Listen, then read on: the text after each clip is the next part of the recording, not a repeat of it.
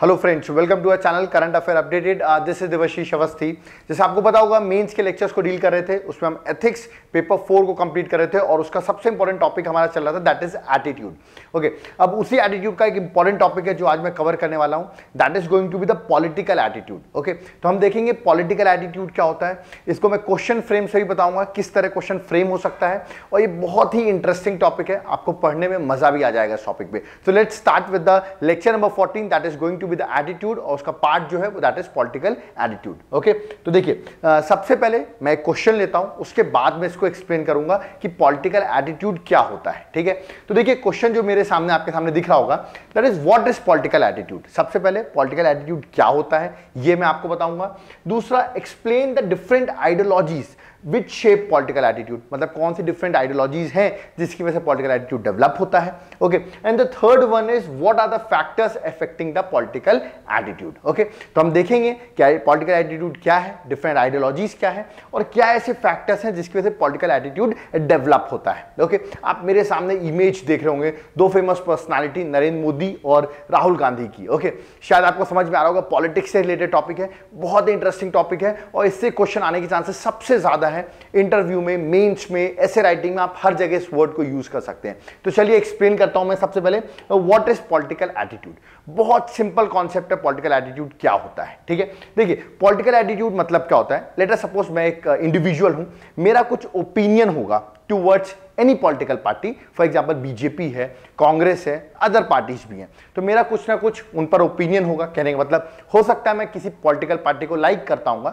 किसी political party को dislike करता हूँ तो ये मेरा खुद का ओपिनियन है कि नहीं? मेरे पास जो भी वैल्यूज़ मेरे घर से सिखाई गई होंगी, या मैंने एजुकेशन में सीखी गई होंगी, उसके अकॉर्डिंग हो सकता है मेरा पर्टिकुलर पॉलिटिकल पार्टी के लिए एक एटीट्यूड डेवलप हो जाए मतलब एक लाइक और डिसलाइक बन जाए उसी को हम कहते हैं पॉलिटिकल एटीट्यूड कहने का मतलब पॉलिटिकल एटीट्यूड का मतलब होता है ओपिनियंस या जो वैल्यूज़ एक इंडिविजुअल के अंदर होती हैं, उसके अकॉर्डिंग याद रखिएगा, वो पॉलिटिकल इश्यूज़ जो होते हैं, उस पर आपका ओपिनियन बन सकता है कि पॉलिटिकल इशू सही है, कि गलत है. फॉर एग्ज़ाम्पल अगर हम अभी बात करते हैं फार्मर्स पर ओके तो अभी आपको पता होगा फार्मर्स पर सरकार ने कुछ चेंजेस किए हैं तो उस पर आपका डिबेट हो सकता है, क्या ये चेंजेस सही है कि गलत हैं?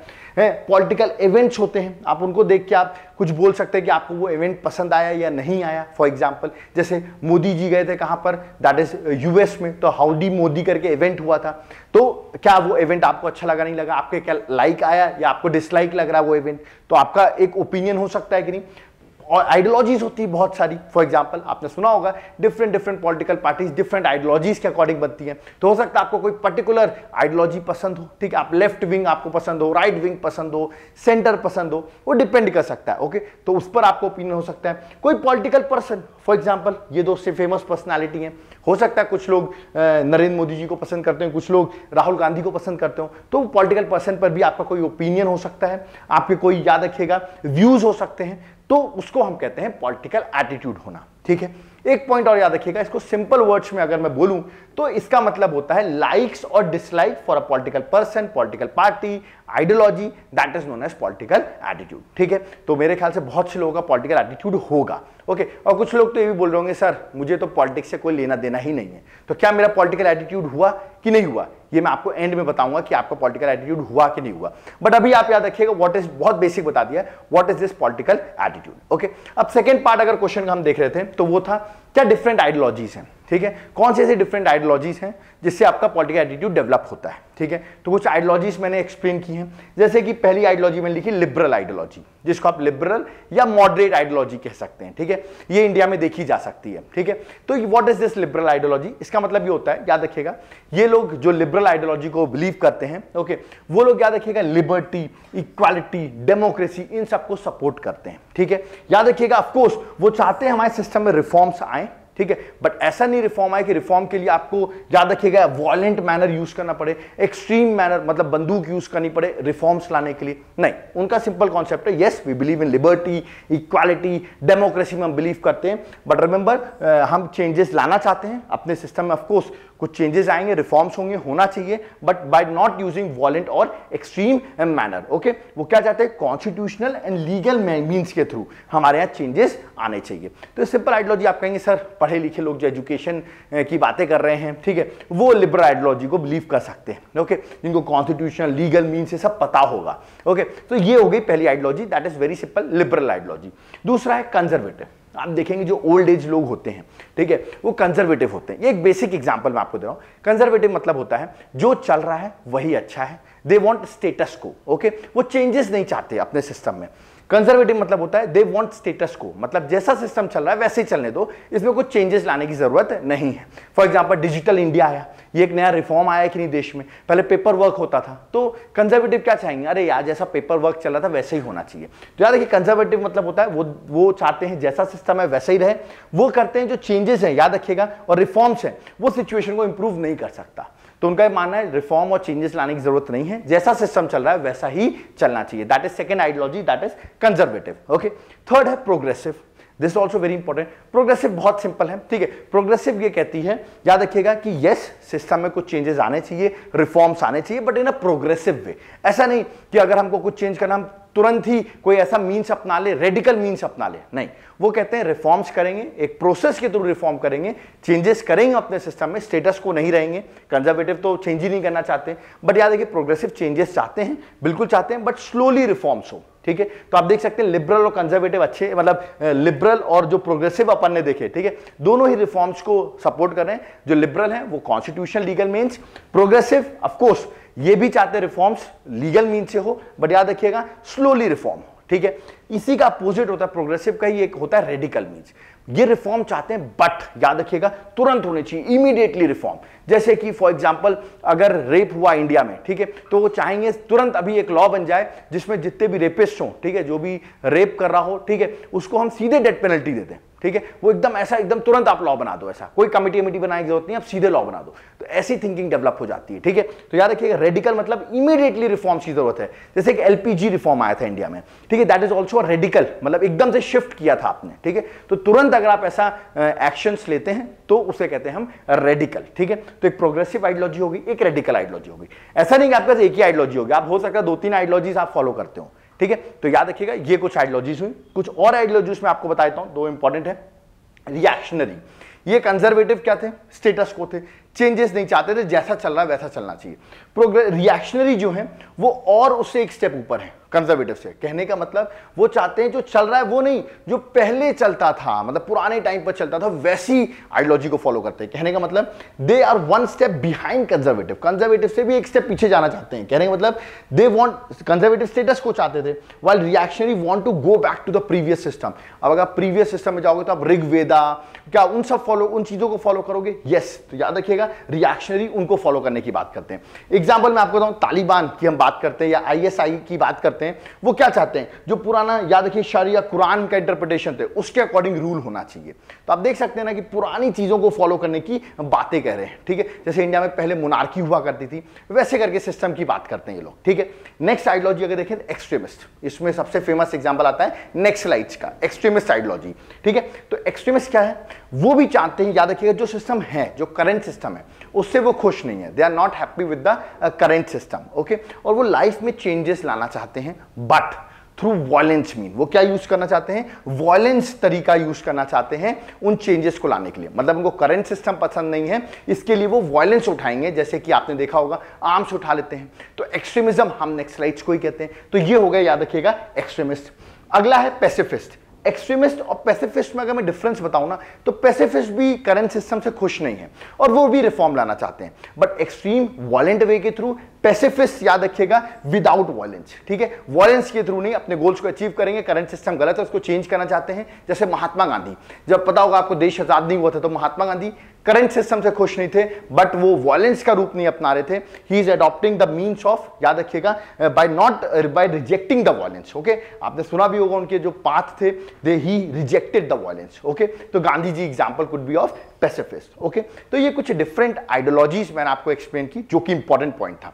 तो पहला पार्ट हो गया अपना व्हाट इज़ पॉलिटिकल एटीट्यूड ठीक है, अब इस पॉलिटिकल एटीट्यूड में आपका कौन सा एटीट्यूड है, आप देख सकते हैं। आप एक्सट्रीमिस्ट हैं, आप रिएक्शनरी हैं, आप पेसिफिस्ट हैं डिफरेंट टाइप्स ऑफ़ आइडियोलॉजीज हो सकती हैं ओके अब ये आइडियोलॉजीज डेवलप कैसे होती है? मतलब आप हो सकता है नेक्स्ट स्लाइड हो नेक्स्ट स्लाइड को आप सपोर्ट करते हो तो ऐसी आइडियोलॉजीज हमारे दिमाग में आती कैसे ठीक है what are the factors third point जो अपना था what are the factors that are affecting the political attitude या मेकिंग या shaping the political attitude inside an individual हमारे अंदर वो पॉलिटिकल एटीट्यूड डेवलप कैसे हो रहा है? ठीक है? तो ये डिपेंड करता है कैसे कुछ फैक्टर्स मैं आपको बता देता हूँ, जो कि बहुत सिंपल है। जैसे कि फ़र्स्ट फैक्टर है nature of the state country का नेचर कैसा है? क्या हमारी कंट्री डेमोक्रेटिक है? क्या अनडेमोक्रेटिक है? जैसे आप चाइना की बात करते हैं तो वहाँ पर पॉलिटिकल एटीट्यूड डिफरेंट होगा। वहाँ पर जनरली उनको पता है कि चाइना जो है, वो दबा के रखती है इंडिविजुअल्स को ओके इंडिया में आपको इतनी सारी फ्रीडम है ओके क्योंकि हम डेमोक्रेटिक कंट्री हैं ओके तो अगर हम देखें किसी ऐसी कंट्री की बात करें ऑफकोर्स चाइना भी डेमोक्रेटिक अपने आपको कहती है बट आपको पता होगा वो रियल डेमोक्रेसी नहीं है ओके तो चाइना में जिस तरह रूल चल रहा है तो उसके हिसाब से आपका पॉलिटिकल एटीट्यूड अलग तरीके से शेप होगा। आप जनरली आपका फ्रीडम ऑफ़ स्पीच नहीं रहेगा एक्सप्रेशन नहीं रहेगा आप अपने व्यूज़ को एक्सप्रेस नहीं कर सकते हैं। आपको बताऊँ आप फेसबुक ट्विटर ये सब तो बैन है वहाँ पर। तो आप अपनी चीज़ को एक्सप्रेस नहीं कर सकते। इंडिया में आपका पॉलिटिकल एटीट्यूड अलग तरीके से, आप तो प्रधानमंत्री को भी देश में गाली दे सकते हैं, देश में, है ना? तो देखा जाए तो पहला अगर हम एटीट्यूड हमारा डेवलप करता है कंट्री कैसी है? ठीक है? आप चाइना में देखिए देखिए, आपको तुरंत जेल हो जाएगी। बट इंडिया में यू कैन डू एनीथिंग तो देखा जाए तो पहला पॉलिटिकल एटीट्यूड हमारे स्टेट हमारी कंट्री को देख के समझ में आता है। फॉर एग्ज़ाम्पल कंट्री डेमोक्रेटिक है अनडेमोक्रेटिक है मोनार्की सिस्टम है, क्या सिस्टम है? उसके अकॉर्डिंग याद रखिएगा, हमारा पॉलिटिकल एटीट्यूड डेवलप होता है। ठीक है? अब आपको पता होगा कि हमें यहाँ पर हम बोलेंगे कुछ, हमें जेल में डाल देंगे तो आप क्यों बोलोगे? आपका पॉलिटिकल एटीट्यूड याद रखिएगा, आपके एक्सप्रेशन निकलेंगे ही नहीं, डर के मारे for example second religion yes religion के अकॉर्डिंग भी लोगों का पॉलिटिकल एटीट्यूड डेवलप होता है। फॉर एग्ज़ाम्पल अगर आप हिंदू होंगे, ठीक है तो आप हिंदुओं को सपोर्ट करने लगोगे, ठीक है, होता है कि नहीं होता? आजकल देख रहे होंगे ना पॉलिटिकल पार्टीज़ हिंदू आइडियोलॉजीज को फॉलो कर रही हैं, है ना? तो आप कहोगे फॉर एग्ज़ाम्पल जो भी मुस्लिम को सपोर्ट करेगा, आप उन पॉलिटिकल पार्टी को सपोर्ट नहीं करोगे। जैसे एक पुरानी बातें कहीं आप बुक्स में भी आपने पढ़ा होगा कहीं कहीं कि ऐसा कहा जाता है जो कांग्रेस है, वो प्रो मुस्लिम्स है। ठीक है? तो लोग क्या कहते हैं कि, अरे भाई, कांग्रेस को मत सपोर्ट करो, कुछ हिंदू ऐसी बातें करने लगते हैं। तो आप कहोगे, सर, ये पढ़ा लिखा नहीं है, इसलिए ऐसी बात कर रहा है। नहीं, वो पॉलिटिकल एटीट्यूड उसका डेवलप हुआ रिलीजन की वजह से, धर्म की वजह से। उसका धर्म इतना इंपॉर्टेंट है कि उसके अकॉर्डिंग अपना पॉलिटिकल एटीट्यूड उसने डेवलप कर लिया है। वो लाइक्स और डिसलाइक्स उसको आ गए हैं कि धर्म की वजह से कि हिंदू अगर कैंडिडेट खड़ा है तो उसको सपोर्ट कर रहा है। तो ये भी एक इंपॉर्टेंट फैक्टर है जिसकी वजह से पॉलिटिकल एटीट्यूड डेवलप होते हैं। ध्यान रखिए सब एग्जाम्पल्स हैं। रियल एग्जाम्पल्स मैं आपको दे रहा हूँ, ठीक है? थर्ड देखा जाए एज बिल्कुल एज के अकॉर्डिंग पॉलिटिकल एटीट्यूड डेवलप होता है। पुराने लोगों से पूछिए, जो एजेड लोग हैं, ओल्डर लोग। आप देखेंगे जनरली कंजर्वेटिव होते हैं। जैसा चल रहा है अच्छा है। बट जो नए लोग आ रहे हैं, जो यूथ है यंग पीपल है, वो याद रखिए चेंजेस चाहते हैं रिफॉर्म्स चाहते हैं, ठीक है? और रेडिकल मीन्स भी अपनाते हैं, याद रखिएगा। रेडिकल मीन्स मतलब चेंजेस चाहिए हमको। आप देखेंगे सोशल मीडिया में, कभी भी कुछ गलत एक्टिविटी होती तो वो एकदम अलग अलग चीज़ें आने लगती। फॉर एग्ज़ाम्पल हाथरस की केस की बात करें तो नई नई चीज़ें आने लगी थी कि हमें सीधे उनको फांसी में लगा देना चाहिए कैपिटल पनिशमेंट देनी चाहिए स्ट्रिक्ट पनिशमेंट देनी चाहिए अभी। तो यूथ जो है जनरली जो होते हैं याद रखिएगा वो रेडिकल अप्रोच को जल्दी फॉलो करते हैं। और कंजर्वेटिव याद रखिए जो ओल्ड एज होते हैं कंजर्वेटिव को फॉलो करते हैं। फैमिली ये अगला फैक्टर है। फैमिली भी एक बहुत इंपॉर्टेंट फैक्टर है कि आपकी फैमिली कैसी है। मान लीजिए आपकी फैमिली पुराने ख्याल की है कंजर्वेटिव है, जैसा चल रहा है वैसा चलने दो तो आपके अंदर भी वैसे ही एटीट्यूड डेवलप हो जाएगा। आपकी फैमिली बहुत ज़्यादा, याद रखिएगा लिबरल है मतलब बहुत ओपनली बातें करते हैं, सब चीज़ें होती हैं, ठीक है? तो आपके अंदर भी वो डेवलप होने लगता है। तो याद रखिए फैमिली का बैकग्राउंड भी एक इंपॉर्टेंट होता है कि आपका पॉलिटिकल एटीट्यूड कैसा डेवलप हो रहा है, ठीक है? आपके likes dislike particular political party चीज़ों पर कैसे डेवलप हो रहे हैं ओके नेक्स्ट देखा जेंडर बिल्कुल आप मेल और फीमेल आप दोनों का पॉलिटिकल एटीट्यूड देख लें, दोनों का डिफरेंट आपको मिल जाएगा। जनरली फीमेल्स आप देखेंगे हिस्ट्री में देखा है तो फीमेल्स को बहुत एक्सप्लॉइट किया गया है। मैं इंडिया की बात कर रहा हूँ अभी तो देखा है तो इंडिया में फीमेल्स को बहुत एक्सप्लॉइट किया गया है। अब वुमेन्स की हम राइट्स की बात करते हैं। तो जनरली आप वुमेन्स को देखेंगे they are more likely towards liberal ideology वो लिबरल आइडियोलॉजी की वो ज़्यादा बिलीव करेगी, वो ऐसे एक्सट्रीम वेज को कम सपोर्ट करती हैं। आप देखिएगा maximum they will try to follow the liberal ideology changes चाहिए उनको, ठीक है? जैसे वुमेन्स पार्लियामेंट बिल अभी भी नहीं आया है, नहीं पास हो पाया है। तो याद रखिएगा जेंडर और मेल आप देखेंगे फॉर एग्जांपल मेल चाह रहे हैं कि रिजर्वेशन वुमेन्स को पार्लियामेंट में नहीं मिले। अब देखो, मिले, नहीं मिले अच्छा डिबेट ओके आप कह सकते हो, सर मेल भी चाह रहे हैं। ओके इट्स योर आइडियोलॉजी ये आपकी थिंकिंग हो सकती है। बट देखा, अभी तक बिल तो नहीं है अभी तक बिल पास नहीं हुआ है, ठीक है? तो देखा जाए तो याद रखिए जेंडर भी डिसाइड करता है आपका पॉलिटिकल एटीट्यूड कैसा होगा। कास्ट बिल्कुल, आप देख रहे हैं कास्ट पे तो पॉलिटिकल पार्टी डेवलप हो गई है आजकल। तो कास्ट के अकॉर्डिंग आप पर्टिकुलर पार्टी पॉलिटिकल पार्टी को सपोर्ट कर रहे हो, क्योंकि उस कास्ट की है वो पॉलिटिकल पार्टी तो देख रहे हैं ना, हमारे पॉलिटिकल एटीट्यूड कितने सारे फैक्टर्स पर डिपेंड कर रहा है। ये सारे फैक्टर्स मिल के आपको समझ में आएगा कि आपका पॉलिटिकल एटीट्यूड कैसा है। ठीक है? आप पर्टिकुलर पॉलिटिकल पार्टी को इसलिए सपोर्ट करो क्योंकि उस कास्ट के लोग को सपोर्ट करती है वो। तो कास्ट भी एक इंपॉर्टेंट फैक्टर है। नेक्स्ट रीजन यस आप किस रीजन से बिलोंग करें? नॉर्थ रीजन साउथ रीजन आप देखेंगे। जनरली नॉर्थ रीजन की पार्टी साउथ रीजन में सक्सेसफुल नहीं हो पाती हैं। क्योंकि साउथ के लोग अपनी पार्टीज़ को रीजनल पार्टीज़ को ज़्यादा प्रेफरेंस देते हैं, क्योंकि उनकी बातें जो है वो रीजनल पार्टी ज़्यादा सुनती हैं। ठीक है? तो रीजन पे भी डिपेंड कर सकता है कि आपका पॉलिटिकल एटीट्यूड कैसे डेवलप हो रहा है। हो सकता है आप साउथ के हो तो आपको नॉर्थ इंडियन की पार्टीज़ इतनी पसंद नहीं आती हो, ठीक है? तो आपका पॉलिटिकल एटीट्यूड डेवलप हो सकता है। Next economic status yes economic status पे भी आपका पॉलिटिकल एटीट्यूड डेवलप हो सकता है, याद रखिएगा। मतलब जो गरीब लोग हैं पुअर लोग हैं जनरली सोशलिस्ट आइडियोलॉजी को सपोर्ट करते हैं। जो रिच हैं, वो राइट विंग को, याद रखिए, या कैपिटलिज्म को कैपिटलिस्ट आइडियोलॉजी को सपोर्ट करते हैं, ठीक है? तो याद रखिए इकोनॉमिक स्टेटस पे भी डिपेंड करता है। और कुछ फैक्टर्स मैं आपको बताता हूँ यहाँ लिखे नहीं है। एजुकेशन एजुकेशन पे भी डिसाइड होगा कि आपकी पॉलिटिकल एटीट्यूड कैसा डेवलप होगा। अगर आपने बहुत पढ़ाई लिखाई की होगी, आपको बहुत आइडिया होगा कॉन्स्टिट्यूशनल वगैरह वगैरह तो आपका पॉलिटिकल एटीट्यूड अलग तरीके से होगा। एजुकेशन हो गया। आज की डेट में सोशल मीडिया की मैं बात करूँ उसने तो बहुत इंपॉर्टेंट रोल प्ले किया, अगर देखा जाए न्यूज़पेपर सोशल मीडिया में अगर बात करूँ मैं याद रखिएगा न्यूज़ की बात करूँ न्यूज़ चैनल्स की बात करूँ सोशल मीडिया में ट्विटर फेसबुक की बात करूँ तो they also let to shape your political attitude वो आपको ऐसी चीज़ें दिखाते हैं जिसकी वजह से आपका पॉलिटिकल एटीट्यूड डेवलप होता है। कहते हैं ना, देश के प्रधानमंत्री नरेंद्र मोदी 2014 में सोशल मीडिया ने बहुत इंपॉर्टेंट रोल प्ले किया था टू बिकम क्योंकि यंग लोग ज़्यादा थे तो उस टाइम पर उनको इन्फ्लुएंस करने के लिए बहुत इंपॉर्टेंट रोल प्ले किया था सोशल मीडिया ने to make him the prime minister of the country even Arvind Kejriwal also become the CM of Delhi because of the lots of influence in social media तो social media का role देखा है तो वो भी आपका political attitude develop करती है। मैं इस पर और थोड़ा सा डिस्कस करूँगा। तो ये अपना पहला जो आंसर था वो कंप्लीट कर दिया मैंने। तो what is political attitude what are different ideologies and what are the factors that led to the formation of political attitude एक यहाँ से एक टॉपिक छिड़ा है, जो इंपॉर्टेंट भी है, वो भी मैं डिस्कस करूँगा। उससे पहले मैं आपको दो कोट बताना चाहता हूँ, ठीक है?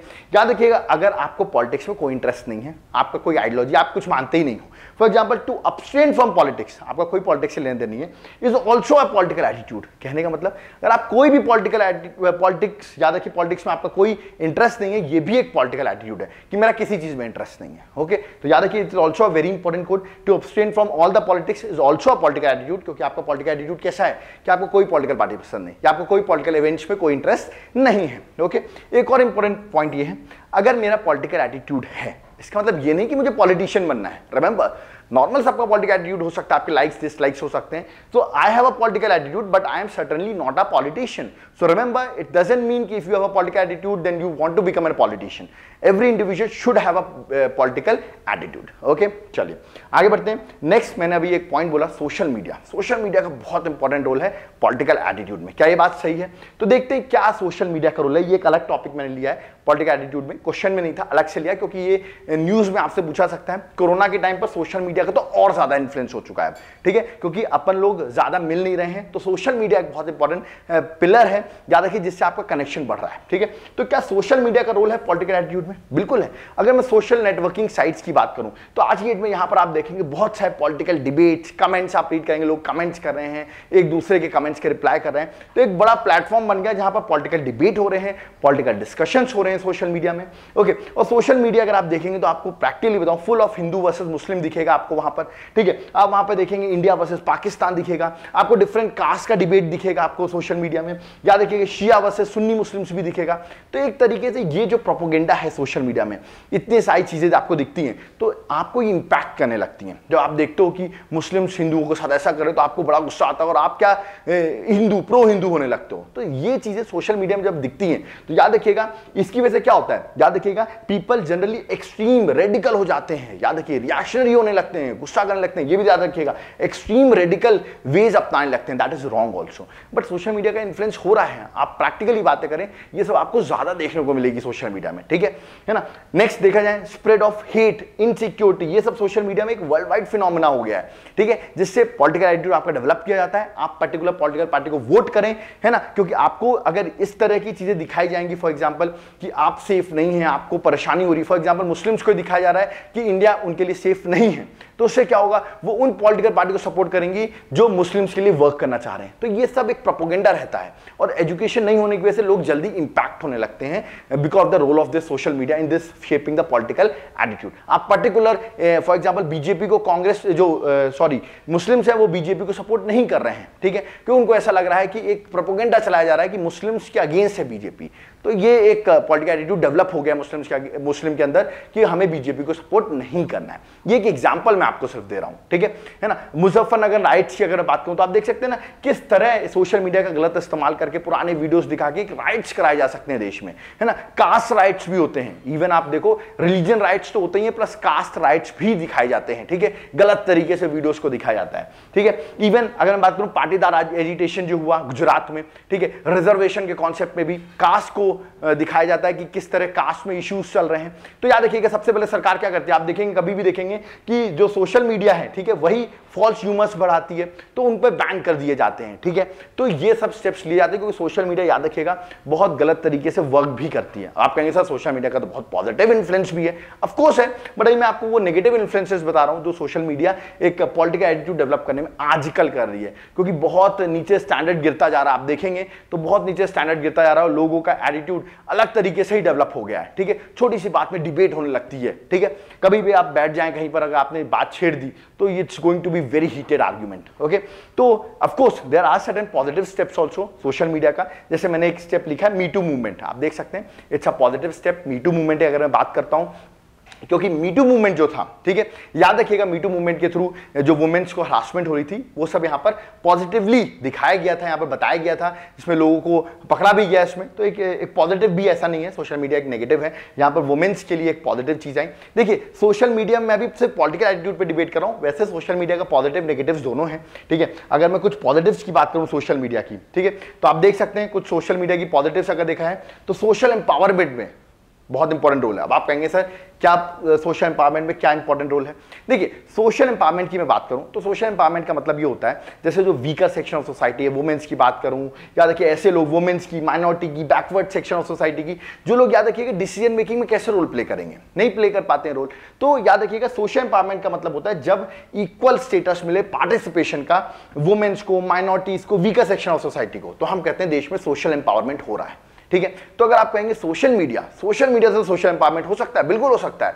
घर बैठे बैठे अपनी फेसबुक आईडी बनाइए। आप चाहे किसी भी कास्ट से हो, कोई भी कम्युनिटी से हो, कोई भी जेंडर से हो, आप आईडी बनाइए। आप कमेंट कर सकते हैं किसी, प्रधानमंत्री के स्टेटस में जाके कमेंट कर सकते हैं। इसका मतलब आपको वो इक्वालिटी इक्वल स्टेटस मिलता है यहाँ पर। तो कह सकते हैं यह सोशल मीडिया प्रोवाइड करता है सोशल एम्पावरमेंट ठीक है? इसे कुछ पॉजिटिव स्टेप्स भी हैं। देखिए मीटू मूवमेंट मैंने आपको बताया one of the important social media platform की वजह से ही एक पॉजिटिव रिज़ल्ट निकला, ठीक है? बाबा का ढाबा जो भी रिसेंटली चल रहा है, वहाँ पर भी आपने देखा किस तरह हमने कमज़ोर लोगों को हेल्प किया through role through the social media influence okay even याद रखिएगा सोशल आइसोलेट जो हो जाते हैं, जिनके फ्रेंड्स नहीं होते हैं, वो सोशल मीडिया के थ्रू अपने फ्रेंड्स बना सकते हैं। याद रखिएगा फ्रेंडशिप बनती है उनकी, ठीक है सोशल स्किल्स आर्ग्यूमेंट्स बनते हैं, ठीक है। तो ये एक पॉजिटिव चीज़ है अबाउट वॉट सोशल मीडिया देखिए, वैसे तो सोशल मीडिया के बहुत सारे पॉजिटिव भी हैं, बहुत सारे नेगेटिव भी हैं। I am not going to very detail of social media okay but मेरा जो क्वेश्चन था पॉलिटिकल एटीट्यूड में सोशल मीडिया का क्या नेगेटिव इन्फ्लुएंस था मैंने पिछली साइड में आपको कवर कर दिया ठीक है? आगे बढ़ते हैं। नेक्स्ट देखते हैं एक क्वेश्चन और है इसका पॉलिटिकल एटीट्यूड मैं खत्म कर दूँगा। ओके okay, पहला क्वेश्चन तो आपको समझ में आ गया पॉलिटिकल एटीट्यूड क्या है डिफरेंट आइडियोलॉजीज क्या है व्हाट आर द फैक्टर्स और किस तरह सोशल मीडिया ने पॉलिटिकल एटीट्यूड में बहुत इंपॉर्टेंट रोल प्ले किया। मैंने एग्ज़ाम्पल भी बताया 2014 इलेक्शन और अरविंद केजरीवाल का इलेक्शन जो था, ये सोशल मीडिया का बहुत इंपॉर्टेंट रोल रहा था। ओके नेक्स्ट एक इंपॉर्टेंट टॉपिक है कि हमें, ये क्वेश्चन है what is the right political attitude in a democracy एक अगर मैं इंडिया से डेमोक्रेटिक कंट्री इसमें एक राइट पॉलिटिकल एटीट्यूड क्या होगा? डिस्कस अगर ऐसा क्वेश्चन आता है। तो अगर देखा जाए, अगर डेमोक्रेसी की बात की जाए तो देखा जाए कौन कौन ऐसे लोग हैं जो आपके राइट पॉलिटिकल एटीट्यूड डेवलप कर सकते हैं, ठीक है? तो यहाँ पर एक इंपॉर्टेंट चीज़ है। देखिए राइट पॉलिटिकल एटीट्यूड डेमोक्रेसी में हो सकता है, इसको मैं डिवाइड करता हूँ पाँच पिलर्स में, ठीक है? जो राइट पॉलिटिकल एटीट्यूड डेवलप कर सकते हैं, वो पाँच पिलर्स हैं। पहला वोटर्स जो वोट करते हैं। दूसरा पॉलिटिकल पार्टीज़ याद रखिए, वो भी इंपॉर्टेंट इतनी सारी पॉलिटिकल पार्टीज़ है। थर्ड जो रूलिंग पार्टी आएगी, जो रूल करेगी। फोर्थ जो अपोजिशन होगा और फिफ्थ जो होगी सिविल सोसाइटी ये पाँच प्लस में डिवाइड कर सकता हूँ। ये पाँच लोग अपना रोल अगर प्ले करें तो याद रखिएगा देश का एक राइट पॉलिटिकल एटीट्यूड बन जाएगा डेमोक्रेटिक कंट्री लाइक इंडिया में। ठीक है? तो इन पाँच लोग को क्या करना है? सबसे पहले बीइंग अ वोटर आप वोटर हो, बिहार में इलेक्शन है, मध्य प्रदेश में चुनाव है तो सबसे पहली बात आपको यह याद रखनी कि आप राइट कैंडिडेट को चूज़ करो। ठीक है? इलेक्शन में आप राइट कैंडिडेट को वोट करो। ऐसे नहीं, ऐसे कैंडिडेट्स को वोट दे दिया जिस पर इतने करप्शन के चार्जेस हैं। देश में आप देखते हैं कितने करप्टेड पॉलिटिशियंस जो होते हैं, वो आगे चल के एमपी एमएलए बन जाते हैं। तो सबसे पहला काम है हमारा बींग अ वोटर कि हमारा राइट पॉलिटिकल एटीट्यूड तब डेवलप होगा डेमोक्रेसी में जब वोटर्स अपना वोट सही जगह देंगे और वोट देंगे। बहुत से लोग तो वोट भी नहीं देते हैं, ठीक है? है ना? प्लस जो आपके रिप्रेजेंटेटिव रिप्रेजेंटेटिव्स रहेंगे, उनको आप अकाउंटेबल रखें, आप उनसे क्वेश्चन करें, ठीक है? आप अगर कहेंगे, सर, कैसे क्वेश्चन कर सकते हैं? एटलीस्ट सोशल मीडिया में तो आप क्वेश्चन कर ही सकते हैं ना। वहाँ पे तो आपको कोई नहीं रोक रहा है ना? तो वहाँ आप क्वेश्चन करें, ठीक है? जो इंस्टीट्यूशन हो डेमोक्रेसी के डेमोक्रेटिक इंस्टीट्यूशन है, जैसे मैं बात करूँ यूपीएससी हो गया सुप्रीम कोर्ट हो गया अफकोर्स उसकी भी रिस्पेक्ट करनी पड़ेगी आपको। ऐसा नहीं कि आप उनके अगेंस्ट बोलने लगे। डेमोक्रेटिक इंस्टीट्यूशन है, याद रखिएगा। आप उनको भी फॉलो करें। जो लॉज हैं देश के, उनको भी फॉलो करें। तो याद रखिए, ये सब चीज़ें अगर वोटर्स जो हैं देश के, वो अगर ये चीज़ें करते हैं तो हमारा राइट पॉलिटिकल एटीट्यूड डेवलप होगा देश में। बेटर पॉलिटिकल एटीट्यूड होगा, ठीक है? सेकंड पॉलिटिकल पार्टीज़ का क्या रोल है? इतनी सारी पॉलिटिकल पार्टीज़ है। पहला तो पॉलिटिकल पार्टीज़ में आपको पता होगा बहुत ज़्यादा फंडिंग आती है। कहाँ से आ रही किसी को नहीं पता चलता है। तो सबसे पहले पॉलिटिकल पार्टी को ट्रांसपेरेंसी दिखानी पड़ेगी अकाउंटेबिलिटी दिखानी पड़ेगी, क्या फंड्स आ रहे हैं ये बताना पड़ेगा। एथिकल कंडक्ट करना पड़ेगा। ऐसा नहीं कि इलेक्शन के टाइम पर आप किसी को भी कुछ भी बोल रहे हैं, ठीक है? एथिकल कंडक्ट दिखाना पड़ेगा। जो कॉन्स्टिट्यूशनल वैल्यूज़ हैं मोरल प्रिंसिपल्स हैं, उनको अपहोल्ड करना पड़ेगा, ठीक है? याद रखिएगा जो आपके वोटर्स हैं सपोर्टर्स हैं, जो स्टेक होल्डर्स हैं डेमोक्रेसी में, याद रखिएगा, उनको भी आपको याद रखिएगा बेटर ट्रीट करना पड़ेगा। तो ये पॉलिटिकल पार्टी को भी ये रोल होना चाहिए। ठीक है? थर्ड अगर बात करूँ रूलिंग पार्टी का रूलिंग पार्टी का क्या रोल होगा? वो तो आ गई सरकार में। तो याद रखिएगा, वो जो उन्होंने प्रोमिस किए थे, जो उनका जो उन्होंने अपना पेपर निकाला था कि इसमें ये ये काम करेंगे तो जो उनके प्रोमिस थे, उनको निभाएँ, ठीक है? याद रखिएगा, देश में honesty integrity non partisanship ethics को फॉलो करें, ठीक है? ऐसा नहीं नॉन एथिकल काम करना चालू कर दें रूलिंग में आते ही, ठीक है? तो ये उनका काम है। अपोजिशन का क्या काम है? अपोजिशन काम है जो रूलिंग पार्टी है, उसको अकाउंटेबल करके रखें, ठीक है? याद रखिएगा ट्रांसपेरेंसी हो, जो अनएथिकल वे अगर रूलिंग पार्टी कर रही है तो उसको एक्सपोज करें। ये किसका काम है? अपोजिशन का। सिविल सोसाइटी का क्या काम है?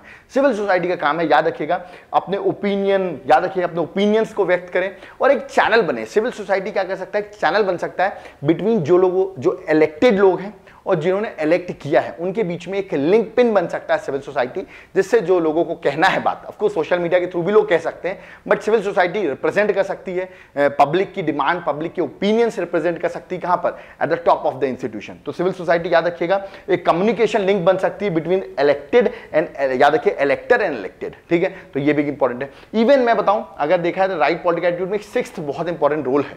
जो लोग भूल जाते हैं, जो मैंने भी यहाँ नहीं लिखा है, वो सिक्स इंपॉर्टेंट रोल है, वो है मीडिया आज की डेट में दोनों मीडिया की मैं बात करूँ, चाहे वो सोशल मीडिया हो, चाहे वो आज की न्यूज़ मीडिया हो, ठीक है? उनका सबसे इंपॉर्टेंट ये रोल है।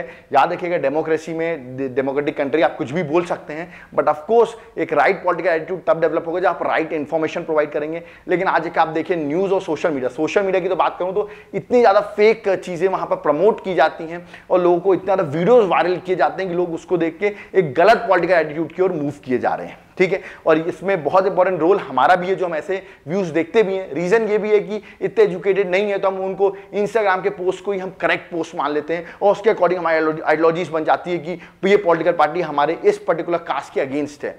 तो ये सब दिखाया जाता है, ठीक है? तो ऑफकोर्स सिक्स इंपॉर्टेंट रोल है कि याद रखिएगा, जो मीडिया है, वो भी एक इंटीग्रिटी एक एथिकल वे में वर्क करे, जिससे हमारा देश का ये छह पिलर्स जो हैं, याद रखिए फाइव ये हो गया सिक्स मीडिया हो गई। अगर प्रॉपर वे में वर्क करेंगे तो याद रखिए, देश का पॉलिटिकल एटीट्यूड बहुत अच्छा डेवलप होगा but it's going to be very difficult क्योंकि आपको ही पता है इनमें जिनके नाम मैंने लिखे हैं, वो किस लेवल पे चल रहा है, ठीक है? तो it's very difficult but still answer writing में आता है तो एटलीस्ट आपको आंसर ये लिखना है, ठीक है? So we have done with what is political attitude मैंने आपको डिफरेंट आइडियोलॉजीज बताई, मैंने दो क्वेश्चन कवर किया आपको, और आई होप आपको एक टॉपिक समझ में आया होगा। ये क्वेश्चन आपके एग्ज़ाम में आएगा मेंस में आएगा आंसर राइटिंग में, किस तरह आप लिखेंगे आंसर्स को, वो मैं एक्सप्लेन कर रहा हूँ। I think this the one of the best way जिससे आप क्वेश्चन के साथ आप टॉपिक भी क्लियर करते जा रहे हो, ठीक है? अगला टॉपिक जो हमारा होगा एटीट्यूड में होगा मोरल एटीट्यूड ठीक है? तो पॉलिटिकल एटीट्यूड हो गया है, अगला टॉपिक मोरल एटीट्यूड होगा। आपको लेक्चर्स अगर पूरे लाइन से देखने हो लिस्ट आपको पूरे लेक्चर्स देखने हो तो डिस्क्रिप्शन बॉक्स में हमारी वेबसाइट का लिंक दिया हुआ है। आप हमारे उस वेबसाइट लिंक पर जाकर याद रखिएगा, आप हमारे लेक्चर्स को देख सकते हो, उसका एक कॉस्ट है। आप हमें कोई डाउट क्वेरीज है, आपको सारे लेक्चर्स नहीं मिल रहे हैं तो आप याद रखिए डिस्क्रिप्शन बॉक्स में नंबर पर व्हाट्सएप कर सकते हो और इसकी डिटेल्स हम आपको प्रोवाइड कर देंगे किस तरह ये सीरीज़ कंटिन्यू होगी। याद रखिएगा, इस सीरीज़ में बहुत सारे लेक्चर्स आने वाले हैं अराउंड फिफ्टी लेक्चर्स होंगे और सारे लेक्चर्स यूट्यूब में नहीं आएँगे। मैं फिर से रिपीट कर रहा हूँ लेक्चर्स यूट्यूब में नहीं आएँगे। यूट्यूब में सिर्फ़ हम प्रमोशन के लिए कुछ लेक्चर्स डालेंगे। आपको proper case studies with notes इनकी पीडीएफ भी आपको चाहिए तो आपको हमारे कोर्स को ज्वाइन करना पड़ेगा। तो कोर्स ज्वाइन करने के लिए आप हमारे व्हाट्सएप नंबर पर ज़रूर कॉन्टैक्ट कर सकते हैं। कोई डाउट क्वेरीज है, वो भी आप कमेंट बॉक्स में कमेंट कर सकते हैं। Thank you